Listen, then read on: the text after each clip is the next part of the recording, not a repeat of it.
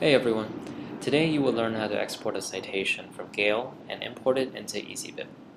So from the home page I'm going to do a basic search on US history. For simplicity let's go with the first result by Martin J. Burke, so let's just click on it. Now we need to go to the right hand tools box and click citation tools. The format that EasyBib supports is exporting to EndNote which is already selected. Then all we need to do now is click export save the file.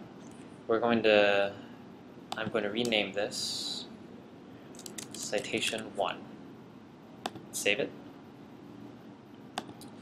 Now let's go to our EasyBib homepage, go to the All 55 Options tab, and click Upload Citations. Now we just need to find the citation 1 file that I just downloaded, click Open, and I want this to import into list 1, so I just need to click Import from here once it is done loading. We can scroll down, click Reload to update, then click Show List. As you can see, we have Martin J. Burke's U.S. Social History citation listed here as desired.